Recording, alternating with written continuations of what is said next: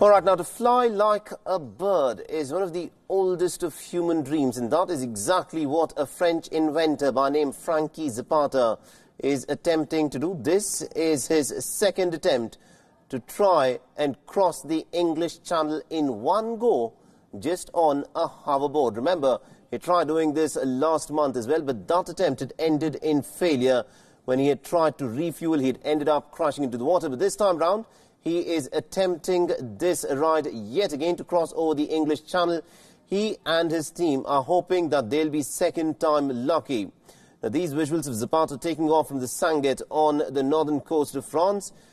Now, the planned trip is expected to last about 20 minutes.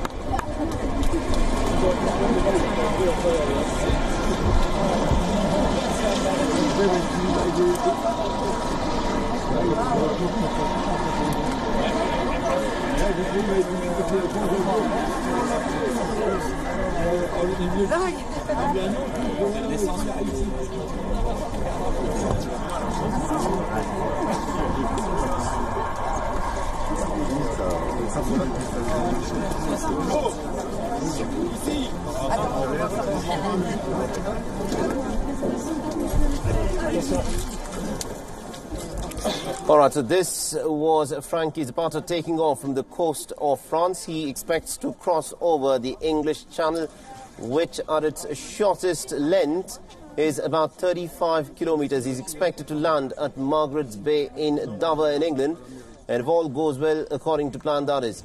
Zapata had made an attempt to cross the channel earlier, but it was unsuccessful. The last attempt was a failure due to a botched refueling attempt.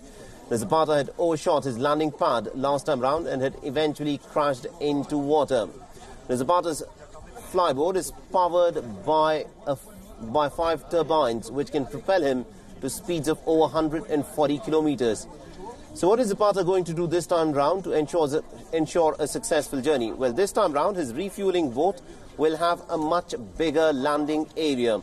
And hopefully, he is expected to land on the other side of the English Channel on the English coast in just a few minutes from now. This was him taking off from the coast of France just a little while back at Sangatte.